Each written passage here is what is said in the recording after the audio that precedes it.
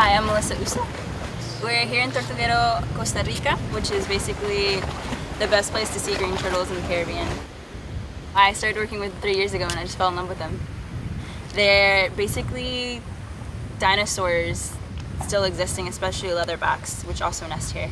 Um, you go and see this turtle who has been migrating around for 25, 30 years, and then she's like, well, it's time to go nest now. And she pulls herself out of the ocean and labors up the beach and like makes her nest. And two months later, you have all these really cute little hatchlings that maybe one in a thousand actually make it to adulthood. The conservation of turtles is very important because not only we have to protect them on the nesting beaches, it's a lot of issues with fishermen and people who still hunt them for the meat. This is where ecotourism and conservation basically meet and have to get along.